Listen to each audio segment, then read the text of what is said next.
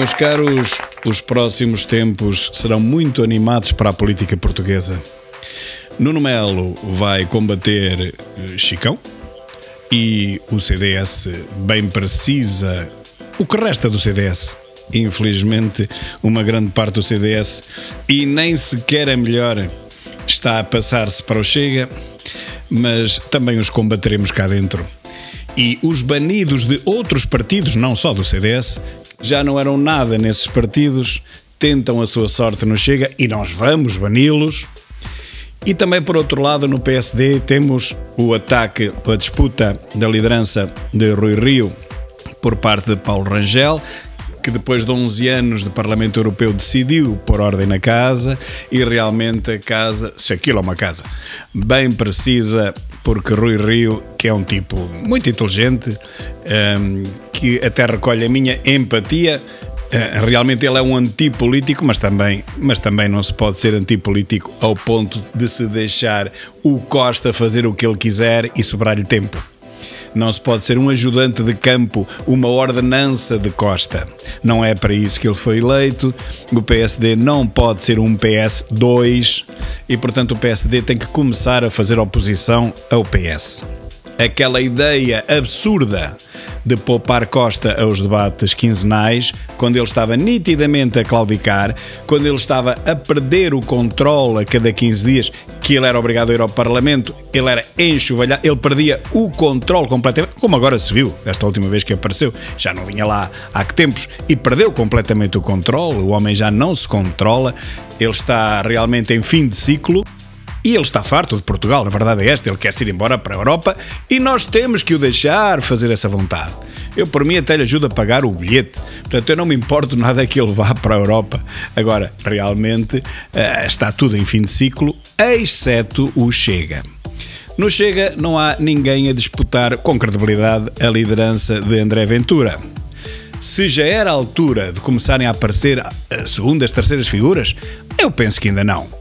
O que é a altura é de começarmos a impor limites à entrada, ao assalto, melhor dito, do partido por parte, como disse no início da crónica, dos banidos de outros partidos, dos escorraçados de outros partidos. Isso é que já é tempo, e mais que tempo, de impor limites a essa entrada, para não dizer mesmo uma barreira absoluta, porque essa gente só vem fazer mal ao partido.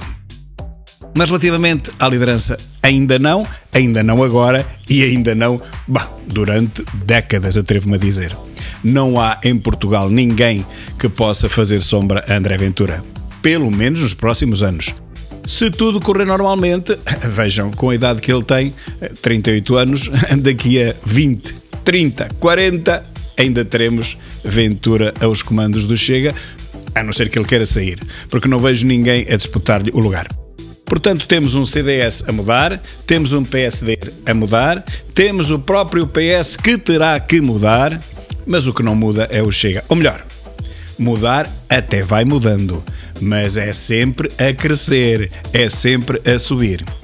Consigamos nós, por cobro, à invasão dos denominados ratos, daqueles que pensavam que já tinham acabado a carreira política, mas agora ressuscitaram ao ver o Chega, ao ver ali a sua oportunidade, consigamos nós pôr cobro a grupos perfeitamente identificados que tentam assaltar as distritais, as conselhias, para impor a sua agenda própria, a sua agenda pessoal, que nada tem a ver com os interesses do partido e muito menos do país consigamos nós afastar essa gente e impedi-los de entrar e aqueles que infelizmente já entraram, consigamos nós pô-los a andar o mais depressa possível e o Chega não parará mais de crescer.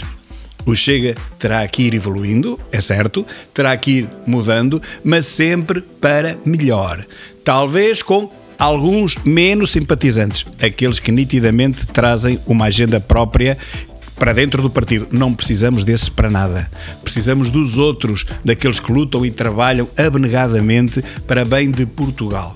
Não para bem de si próprios. Não para subirem na vida, não para terem mais visibilidade, mais protagonismo. No fundo, por uma questão de vaidade apenas. O Chega não precisa desse tipo de militantes precisa daqueles que trabalham abnegadamente, humildemente, sem as luzes da ribalta em cima, de forma discreta, no sentido de trazerem para o partido cada vez mais pessoas de bem não pavões. Esses, infelizmente, já há demais. Precisamos de pessoas de bem, de portugueses normais. Nem é preciso ser muito iluminados. Já temos um bom quadro de académicos, um bom quadro de intelectuais. Estamos preparados, neste preciso momento, para incluir qualquer governo de Portugal. O que nós precisamos é de militantes de bem, militantes que não venham para o partido para tratar da sua própria vidinha, militantes que venham para o partido para cuidar dele, para o fazer crescer sempre com gente de bem.